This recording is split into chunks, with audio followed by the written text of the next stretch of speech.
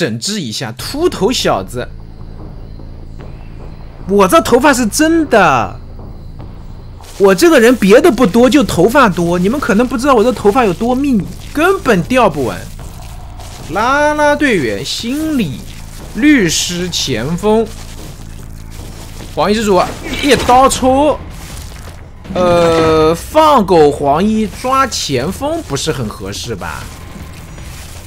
抓前锋的话，除非你第一刀是有平地刀或者触手压住能打刀的，要不然你狗咬住打第一刀，哎，手有点吓人，直接放狗。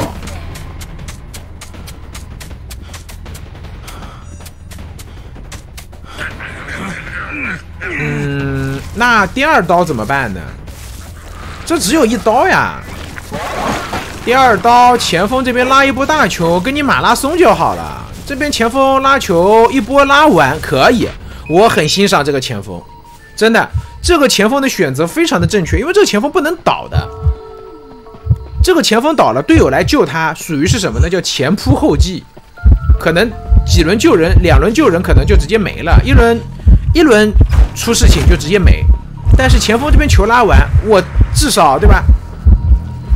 有自己打了一刀心理，那前锋走了，我至少是把自己的球交完了，我对得起你们了。打了一刀心理，还是目标锁定前锋，前锋大概率是个搏命的，因为这个阵容的话，其他人不太会带搏命的，一根触手拍倒。我有种不祥的预感呀！我感觉求生者来救一波可能就没了，救一波可能就是双倒。鞠个躬，不是最近的监管者怎么那么喜欢鞠躬啊？要不别救了，卡着不救是可以的！这个局卡着不救是可以的，因为他们这个局来救人，或多或少都会给到黄衣之主机会，即便你真的不给机会，那也是吃一刀救人。你也盘不活一个四人开门战。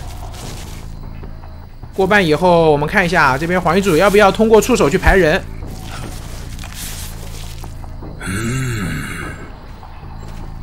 他在干嘛？哎，他在向那个沙龙的那个聂西的那个照片鞠躬。他在椅子旁边放了个照片，然后在那边鞠躬。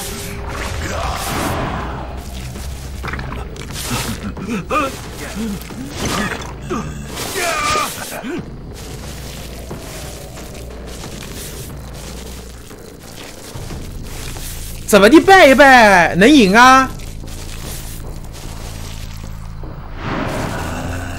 他不能在我们直播间吧？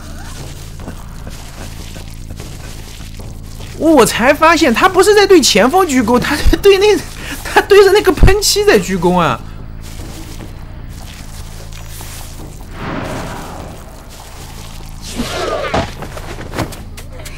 这小兄弟是不是有点迷信啊？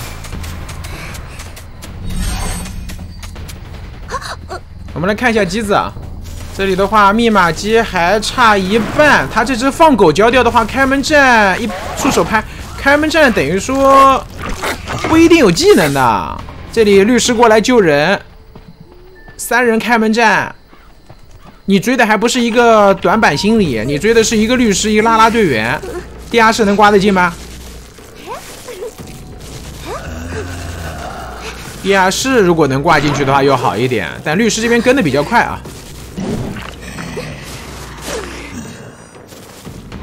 出手一拍，拍中的是律师，好像落地刀有机会蓄力吧？来来来，蓄力刀，哎，可以，密码机点亮，四十秒的传送。技能没有，虽然说是个三人不贴门，但是他没有技能的话，这个局应该是最多一个平局。如果地窖位置不好，甚至这边的话，拉拉队员有机会跳地窖。我觉得他这边刚才应该干嘛？怎么样？我们从马后炮的角度来讲啊，他这一波其实牵人挂人早了。